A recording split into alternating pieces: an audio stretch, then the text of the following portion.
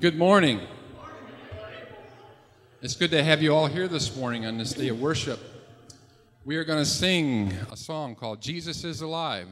So let's go ahead and stand and sing Jesus is Alive. The words are up here.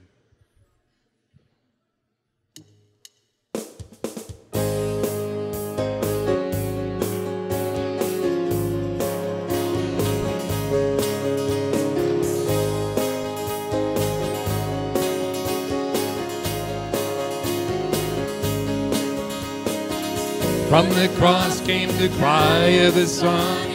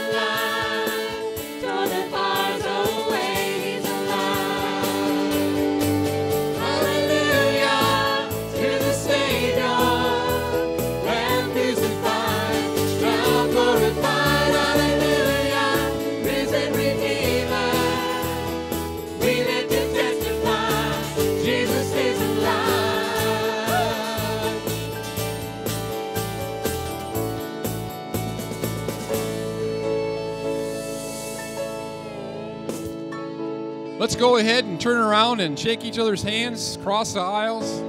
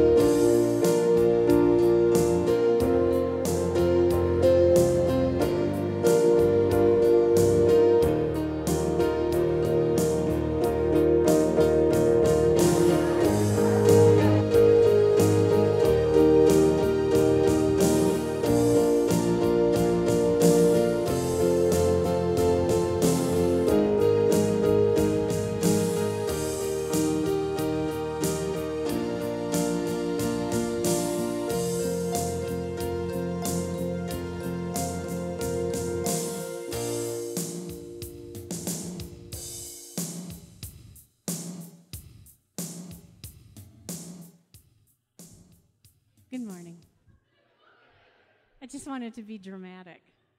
Um, just one quick announcement tonight after the um, the evening service, actually at a quarter to seven, the teens uh, will be leaving to go to Re- Runaway Rec. If you want to go bowling tonight, if you don't, that's fine. Just stay here all by your pitiful self. But um, the rest of us are going to be going to Runaway Rec because Drew Willett thinks he's going to beat me. anyway, that's it. Tonight, Runaway Rec, quarter to seven, we leave. All right, and that probably means I need to put the seats in the van? Yes. Remind me. All right. Put the seats in the van. Thank you for reminding me. Welcome to each one. Good seeing you all. Might be a little bit loud here, Jay, and that will work out well. And ushers, if you would hand out the Ministry of Friendship books. And I wonder if we have anyone visiting here for the very first time who would be brave enough to stand and mention your name and where you're from. Well, hey, if you are, we are so. Yes, we have Kennedy right here. And if you guys will stand up, Andrew, congratulations.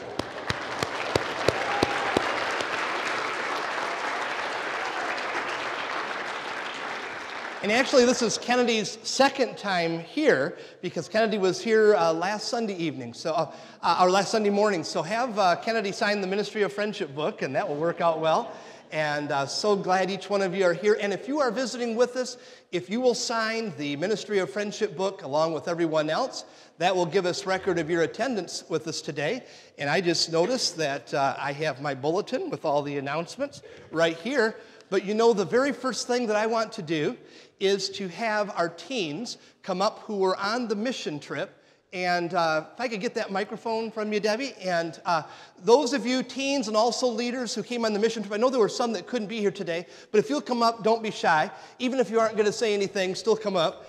And they were uh, from Sunday afternoon up till Friday in Grand Rapids doing uh, various uh, mission trip work. And um, for those who are willing to uh, uh, mention something, if, if you are, uh, simply mention um, maybe the job that you worked on and uh, uh, what you uh, enjoyed the most in about that particular week. So I'll tell you, I'll give you that, and then you can just sort of pass it to whoever was willing to say something. Hi, my name is Annie Jennings, and this week at the mission trip, I worked at a nursing home. And for the first about three quarters of the day, I was outside pulling weeds and trimming rose bushes and so forth, getting nice and sweaty. but um, the last part of the day, about hour and a half, two hours, I was actually working with dementia and Alzheimer's patients and we would play games with them, such as bingo and Yahtzee and bowling. And a lot of these patients were long gone. Unfortunately, they just stared out in space and wasn't a whole lot there. But there was a couple people. There was one person named Annie Jennings, such as myself, and she was from Germany, and she had this accent, and she was just the sweetest little lady you would ever meet. And there was also a gentleman by the name of Don, and he just lit up the room. He was always happy, always smiling, and to think that we have so much of our life, like we have all of our mental ability and we're capable of doing everything, and yet we take that for granted. And this week I really learned that we need to be more appreciative of what we have instead of just taking everything for granted. So.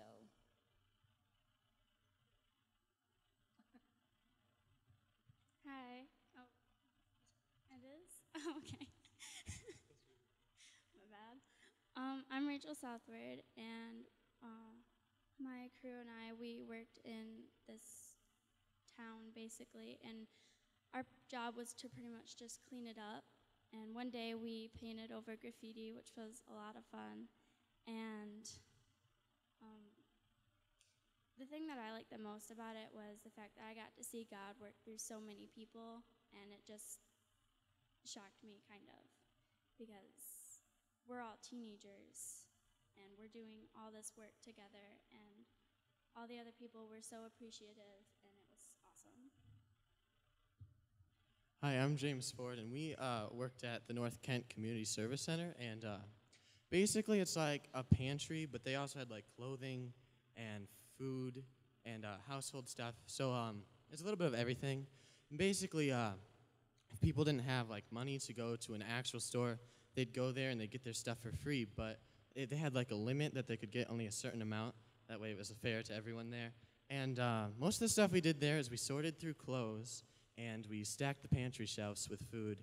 And then I also worked at checkout a lot, so I got to meet a lot of the people that worked there, which was really cool because you got to see them and how they lived. And I realized that they uh, they don't have a lot, and a lot of them would come in there like crying because they they were broke and they couldn't get anything, and they were so thankful for us to be there, so they had food and supplies. And I really liked that, and it made me realize that I take a lot for granted. There's a lot that people don't have, and I have a lot more than most people, so I realized that I should be more thankful for all the stuff that God has given me. Hi, I'm Chloe Kelly. Um, my crew got to go to a few different places. Uh, we we did a lot at um, the Baxter House. We got to like do um, like we were painting and stuff like that, and uh, we also got to go to a homeless shelter and prepare and serve food. And um, we also went to a couple of uh, retirement homes. And I think one of the highlights of my week was when we went to the last retirement home. I got to talk to a couple of uh, gentlemen, uh, one whose wife had died and he like lost everything and he just broke down crying. And that wasn't even the worst of it because he had only been there a year and you know like it was really heartbreaking. But he emphasized how um, the leader there, her name was Nancy.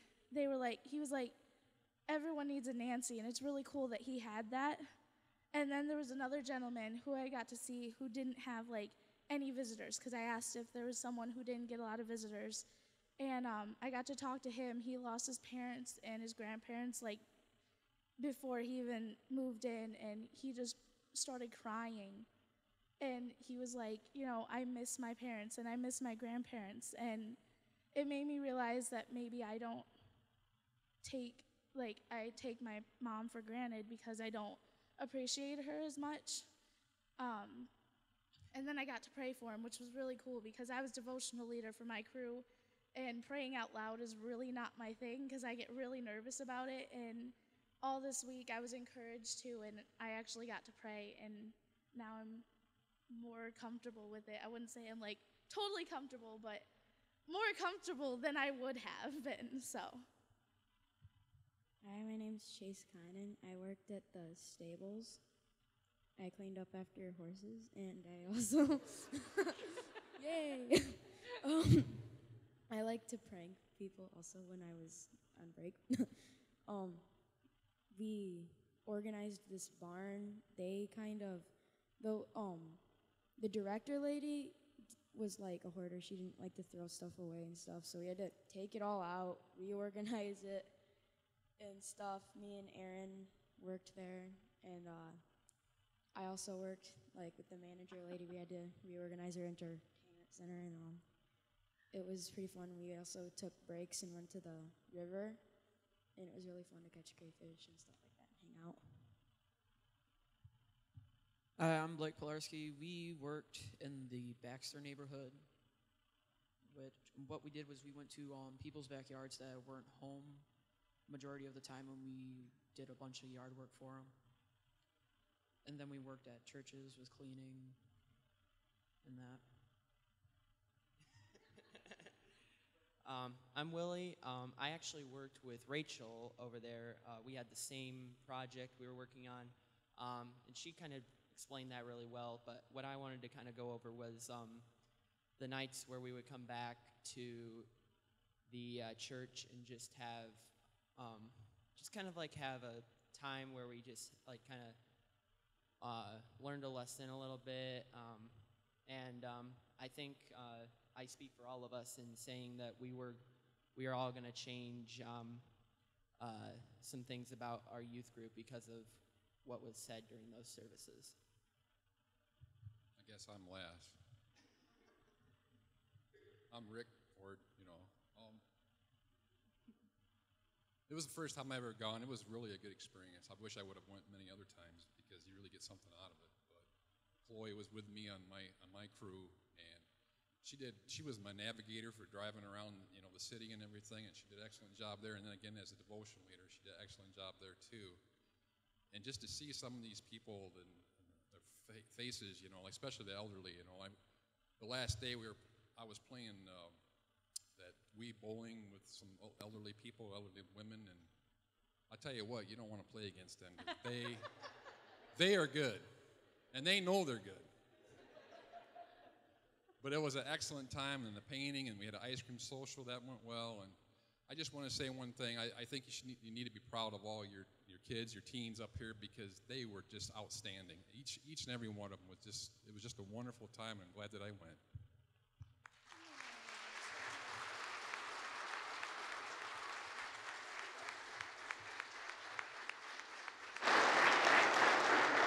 Thank you all so much, and you're welcome to have a seat. And as you're uh, doing so, uh, to share with you too, they uh, were actually roughing it as well. Uh, and the church where they stayed did not have air conditioning.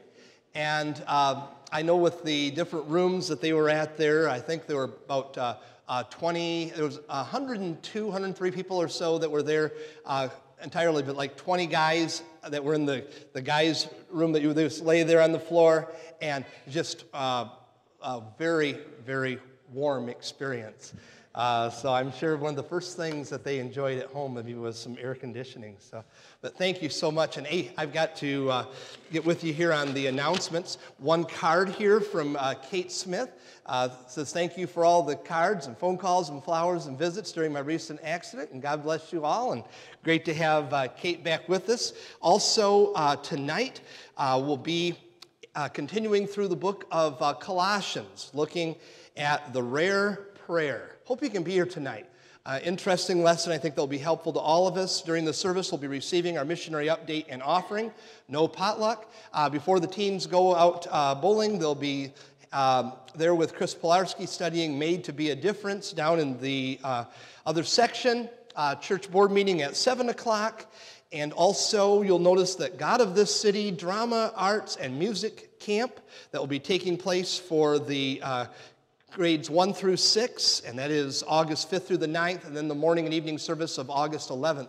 They'll be putting on that musical for our morning and evening uh, service. Um, the newsletter is out and in the uh, foyer. One um, other thing before I'll mention the prayer requests and we get to the rest of the service. If you're ready, we have we had Vacation Bible School last week because of the special service for Pastor Josh and Danielle. Uh, we didn't get a chance to give you a recap of uh, Bible School Week, and if you guys are ready for that, we'll do that now. And I believe that there were three who received Jesus as their Savior that week. Let's go ahead and watch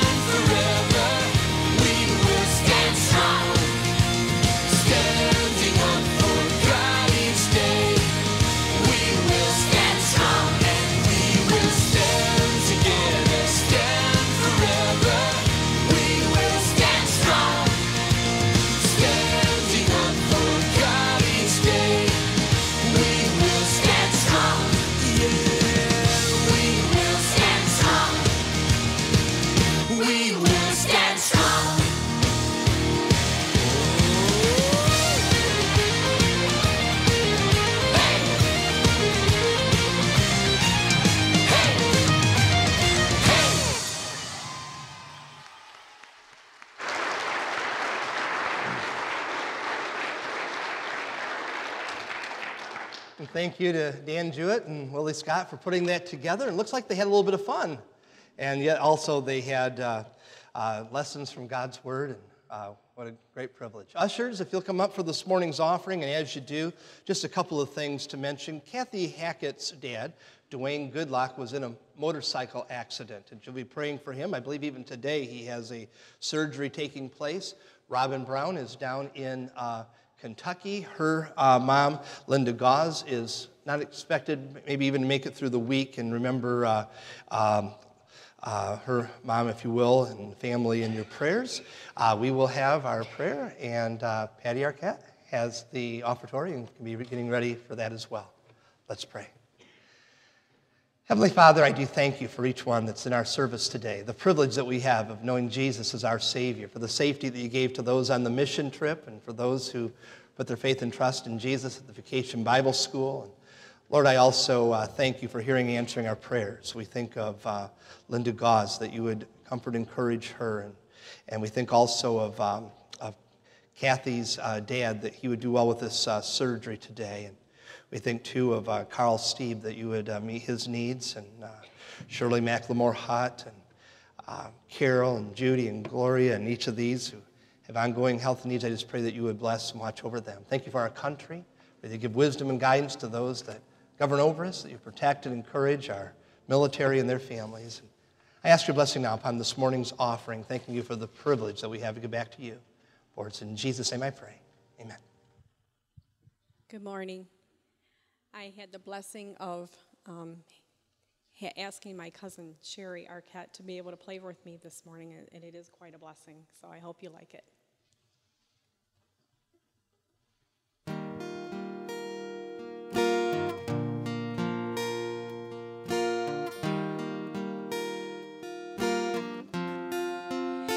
For your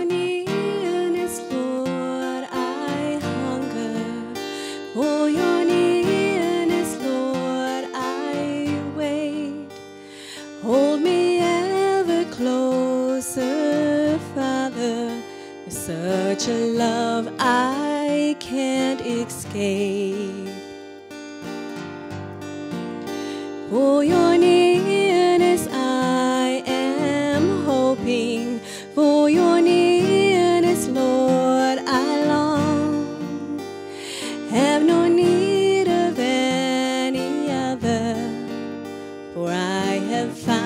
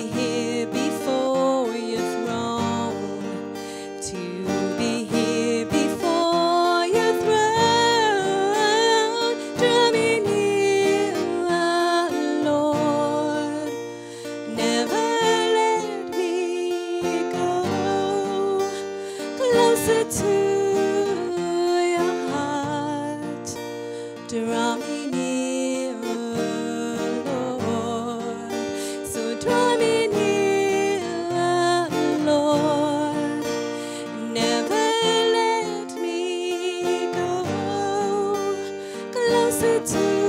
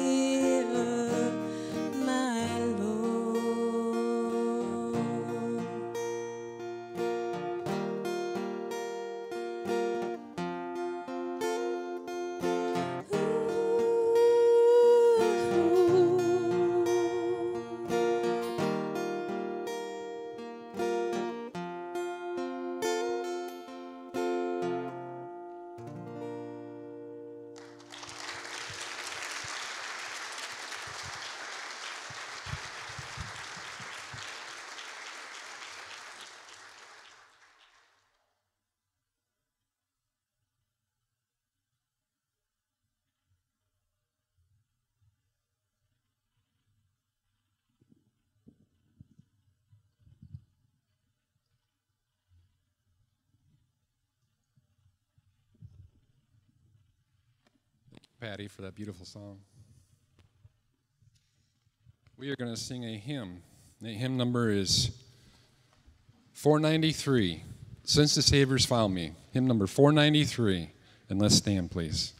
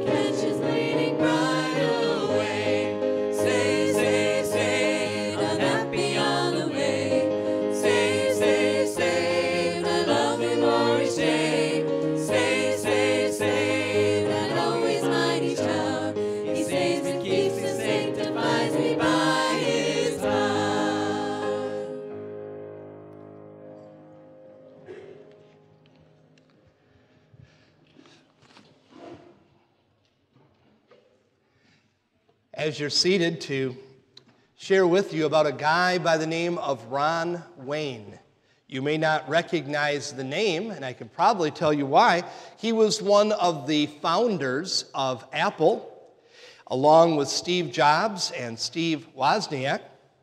He had actually helped to steer the company in its early years. In fact, he was among those that helped to design that famous Apple logo. Wayne owned 10% of the company. Jobs and Wozniak each owned 45% of the company.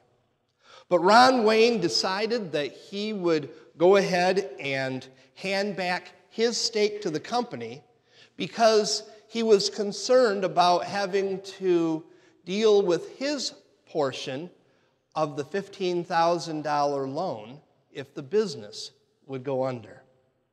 As you know, Apple succeeded.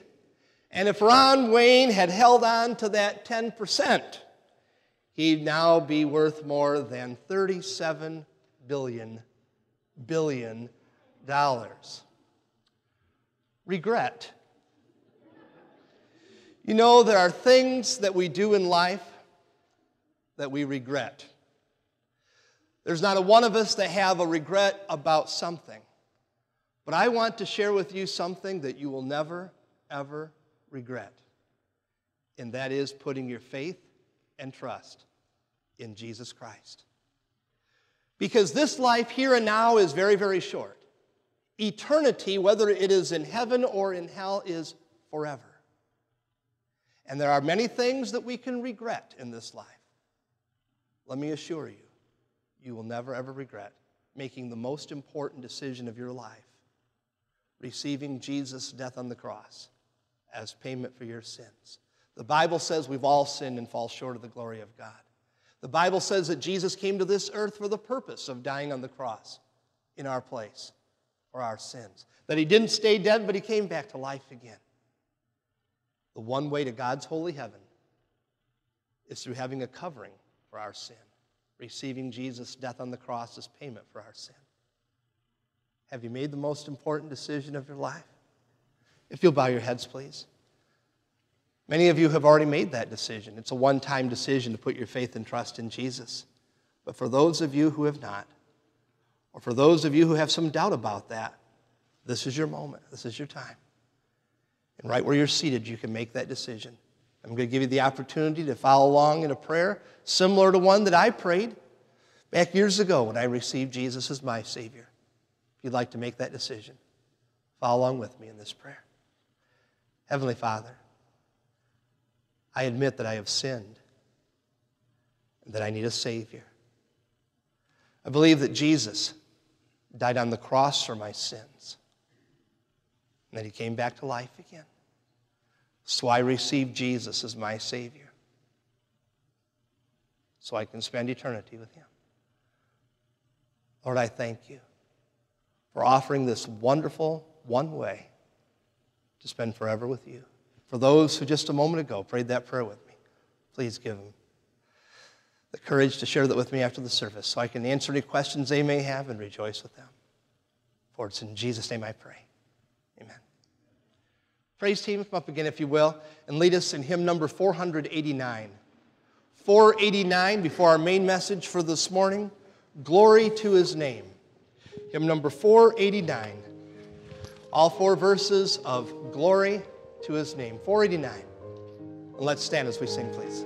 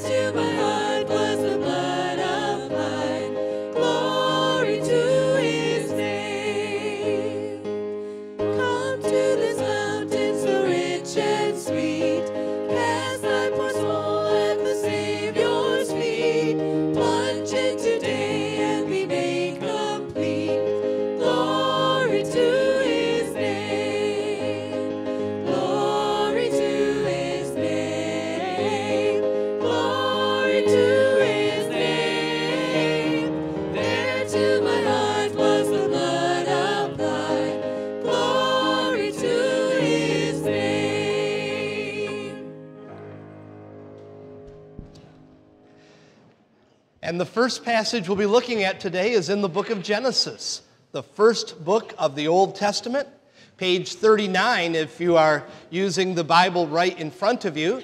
Also, there are uh, three different verses we'll be looking at, and you'll find each of them. In fact, you can go ahead and put the first one even on the wall, as we are having a sequel, if you will, to a message from a few weeks ago.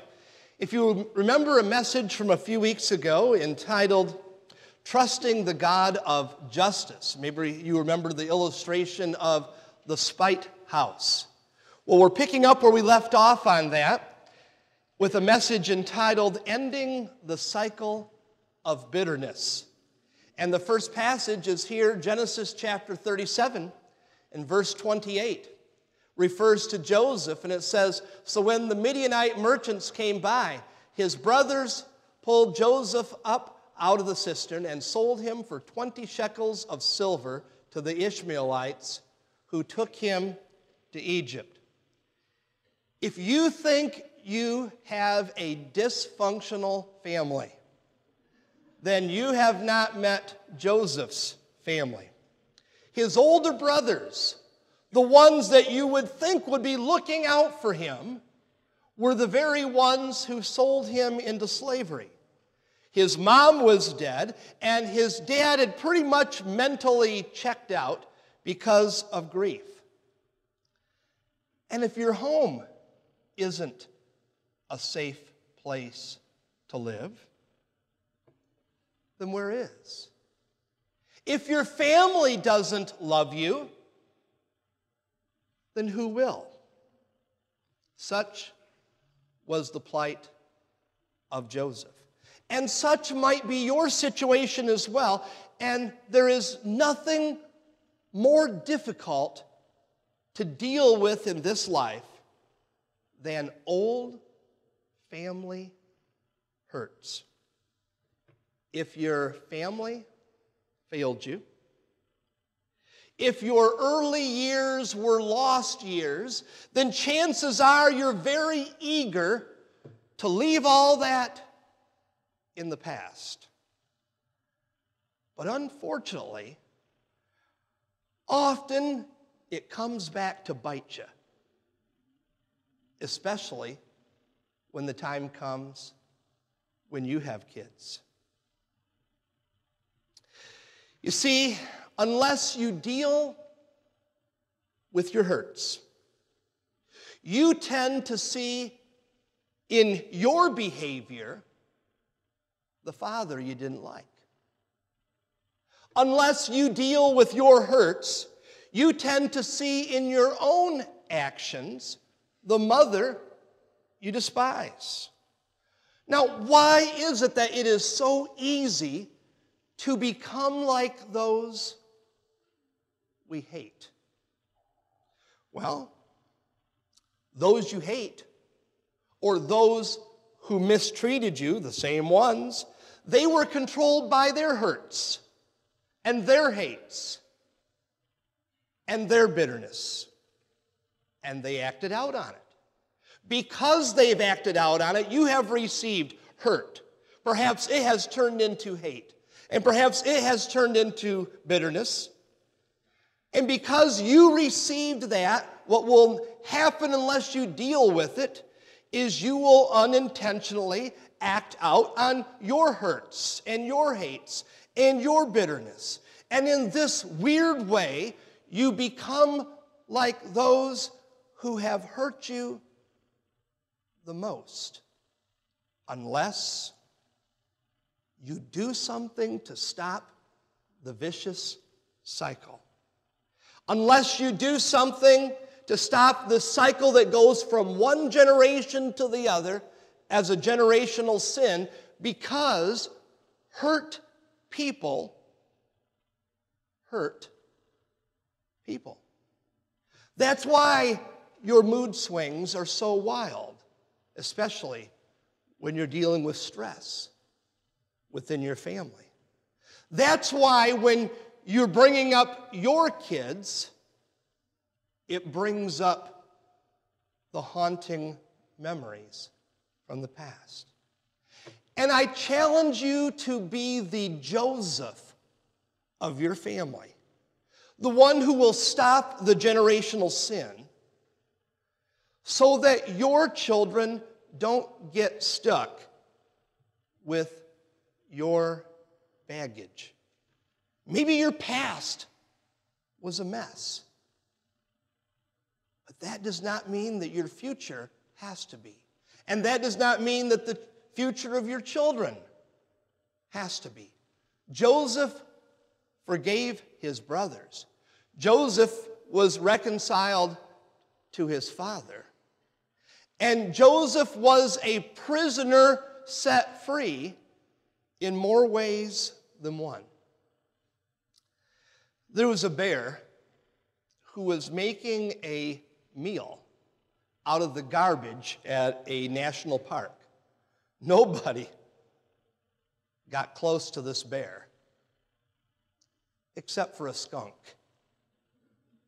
And the bear never bothered the skunk because the bear knew the high cost of getting even. And perhaps you have had some skunks who have wandered in to your camp. You know, life would be great if it weren't for the people, right? And as you think about it, people have a way of stinking up life, don't they? Maybe a friend that promised to help but didn't or an enemy who promised to hurt and did. Or a coworker who treated you as a stepladder. Or a family that has treated you as a stranger. And people can really stink up the place. So, what do you do about the skunks in life who have sprayed you? What do you do? Notice this next verse. Luke 6, verses 27 and 28. But I tell you who hear me, love your enemies, do good to those who hate you, bless those who curse you. Now, watch this one and hold on to your pew. Pray for those who mistreat you. And your response is, You're kidding. Pray for those who mistreat you. Now, you could understand if it said, Pray against those who mistreat you. That would sound about right. But pray for those who mistreat you. Don't take the advice of Jaron and the Long Road to Love in their country song, which I will recite the words for you. The song sounds good and it starts off so good. The song is called Praying for You. Here's how it goes. I won't sing it, just read it, and you'll be thankful. I haven't been to church since I don't remember when. Things were going great till they fell apart again. So I listened to the preacher as he told me what to do. He said, You can't go hating others who have done wrong to you. Sometimes we get angry, but we must not condemn. Let the good Lord do his job. You just pray for them. Boy, it sounds good, doesn't it? Here's the chorus I pray your brakes go out running down a hill. I pray a flower pot falls from a windowsill and knocks you in the head like I'd like to. I pray your birthday comes and nobody calls. I pray you're flying high when your engine stalls. I pray all your dreams never come true. Just know wherever you are, honey, I pray for you. There's a verse two. I'm really glad I found my way to church because I'm already feeling better and I thank God for the words. Yea, I am going to take the high road and do what the preacher told me to do. You keep messing up, and I'll keep praying for you. I pray your tire goes out at 110. I pray you pass out drunk with your best friend and wake up with his and her tattoos. I pray your brake goes out running down a hill. I pray a flower pot falls from a windowsill and knocks you in the head like I'd like to. I pray your birthday comes and nobody calls. I pray you're flying high when your engine stalls. I pray all your dreams never come true. Just know wherever you are, near or far, in your house or in your car, wherever you are, honey, I pray for you. I pray for you. I don't think that's what Jesus meant. but I will say, we would love to change that word for to the word against, but I think it would mean the opposite. Pray for those who mistreat you. Now, in all honesty, usually that involves two steps. The first step you won't mind so much. The first step is to privately, notice, privately pray about them, telling God your hurts. Notice 1 Peter 5 7. The next verse 1 Peter 5 7. Cast all your anxiety on him because he cares for you. All your anxiety, all of your hurts, all the things that are bothering you, it is okay to privately tell God your hurts and to privately vent and tell God how you have been wronged. He already knows about it, he's not going to be shocked. And David did it on a regular basis in the Psalms. It's okay to do that. That is step one. Here's the problem often we don't go from step one to step two. And we don't go from praying about them to praying for them. Got to be honest with you. The first time you have completely prayed about them and you've said everything there is to say, and that's drained out of your system, and you know the next step is to pray for them, it will seem very mechanical, very phony, very hypocritical, more than likely, very not from the heart because of the hurt. But you keep at it because the person who benefits the most from that prayer is you. Because what it does as you pray about them, casting all your anxiety on Him because He cares for you, and then going to the next verse of Luke 6, and then you pray for those who mistreat you, what will happen is it extracts the poison out of your system, the hurt that can ferment into hate. It extracts the poison out of your system. When you go from praying about them, telling God your hurts, and then praying for them, and then what we mentioned a few weeks ago, that you give the right of getting even completely over to God, it will put a halt to that continued generational sin.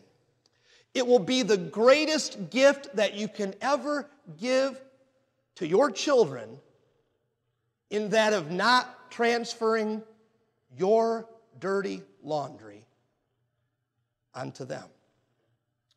You know, during a Monday night football game back several years ago between the Chicago Bears and the New York Giants, one of the announcers had mentioned that the Bears running back, Walter Payton, you probably have heard of him, that at that point in the game, he had accumulated over nine miles of career rushing yards. Over nine miles. Then the other announcer chimed in and said, Yeah. And that's with someone knocking him down every, four, every 4.6 yards. And you may feel as though you have gone through this life knocked down. And you may be struggling with the hurt that if you be honest with yourself and God, that it has fermented to hate. And to be honest about it, you don't know what to do about it. The answer, when you get knocked down, is how you get back up. The answer is to do what God's word says. Yes, step one, tell your hurts to God, pray about that person. But then pray for that person, giving completely to God the right of getting even. It will extract that poison out of your system, and it will be a mighty gift to your family. I have a question for you. It's one thing to hear a sermon about it, it's another thing to nod your head in agreement, saying, you know, that's what God's word says, and it sounds right. It's another thing also to go home and to put it into practice. Because the one thing I didn't share with you, it's not easy. Every part of your being wants to hold on to that hurt and grip it for all it's worth because you think that somehow you have control over the situation as long as you're holding on to it. May I tell you this? No. It has control over you. It is controlling your thoughts. It is controlling your moods. It is controlling where you go or don't go, what you say or don't say. And chances are, you wouldn't want that hurt or hate. And chances are, you especially wouldn't want those who have wronged you to have that kind of control over the rest of your life, and it is robbing you of your joy. And you have a choice. You can stew until the day you die and be the most miserable person on planet Earth. Or you can pray about them privately to God, pray for them, and transfer the right of giving even to the one who can do it justly. And let go and live and start to have that joy. You read in the Bible about people that have joy, and you think it's something foreign way out there, and you can't figure out why you don't have it. It's because you're holding on to the bitterness, thinking, I've got control as long as I have it. No, it has control of you. And the sad thing about it is you pass it on to the next generation if you don't nip it. The question is not what does God's word say? It's what will you do about what God's word says? Let's pray.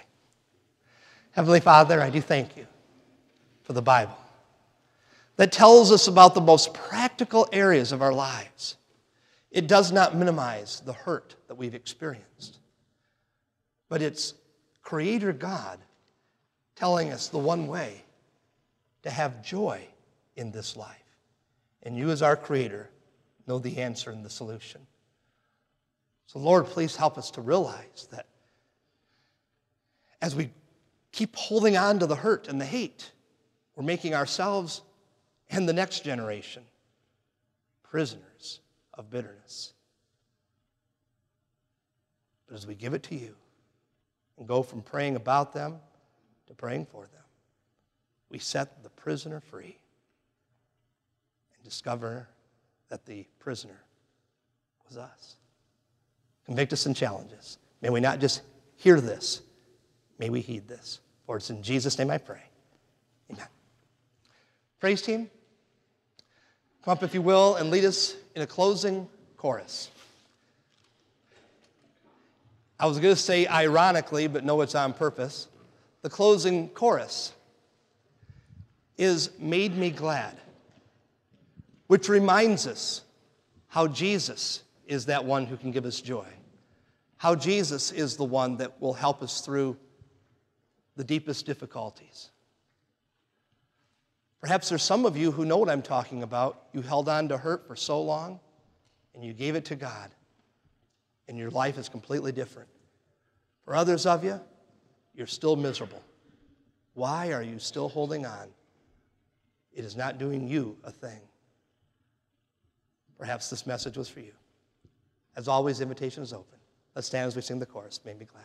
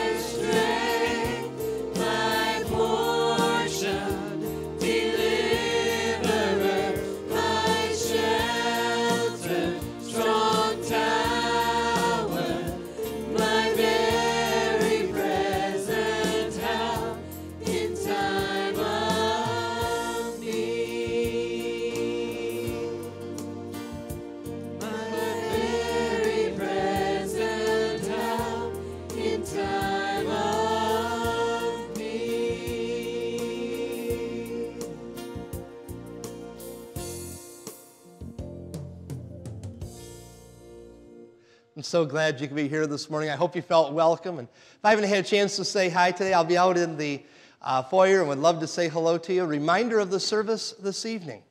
Uh, for the teens, uh, made to make a difference. And then there'll be uh, bowling afterwards this evening. And then also, as we continue our study in the book of Colossians, the rare prayer.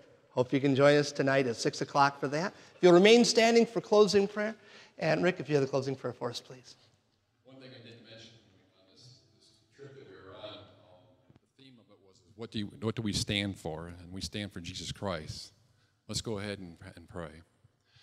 Father, thank you so much for your grace and your mercy that is upon us. Thank you that we have your word that we can look to and, and read and understand. And uh, Lord, that you give us the strength and power we need to, to do the right things, to stand up for Jesus. And uh, I just pray that you would help us to be kind to one another and to forgive one another and just to help each and every one to grow closer to you. We thank you that you died on the cross for each of us, and I just pray these things in Jesus' name. Amen. And we're dismissed.